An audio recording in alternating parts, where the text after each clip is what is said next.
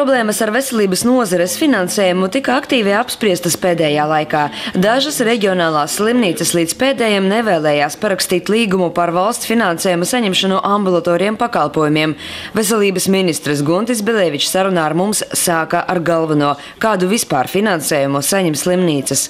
Reģionālajām slimnīcām un slimnīcām reģionos ir uh, trīs dažādas uh, uh naudas plūsmas. Uh, Pirmā, visnozīmīgākā, ir mediķu algas palielinājumam.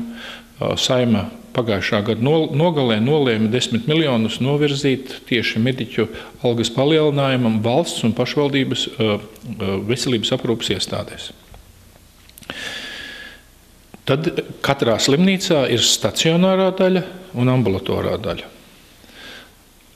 Stacionārā daļā nevienai slimnīcai nav naudas summa mazāka tika pieņemts politiskais lēmums, tātad, jo šīs slimnīcas teica, ir viņām visjūtīgākā daļa, ir vai nu tikpat, tātad tur arī pienācās mīnus, ir tikpat cik iepriekšējā gadā, vai vairāk. Tāpēc vajadzēja, lai šo finansējumu piešķirtu, vajadzēja uh, mainīt ministru kabineta noteikumus, kas tikko pagājušajā nedēļā tika izdarīts.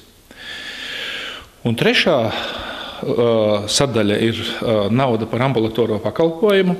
Un, tad, kad gāja runa par šo naudu, tad slimnīcas bija aizmirsušas divas iepriekšējās naudas un divus iepriekšējos palielinājumus.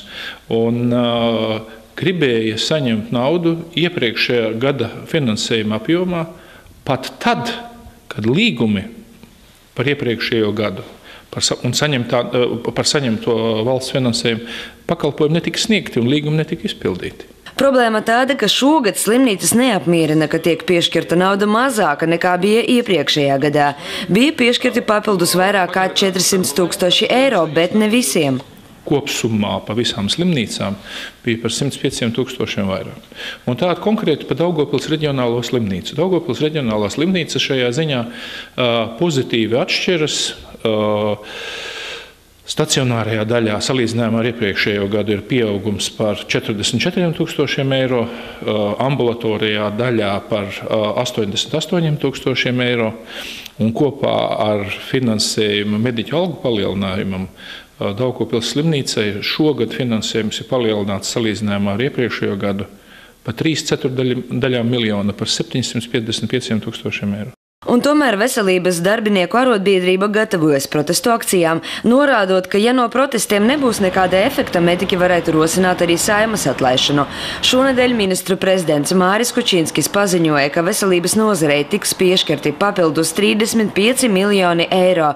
Šī summa tiks iekļauta nākamā gada budžetā. Marija Andrejeva, Aleksijas Ivanovs, Dautkom TV.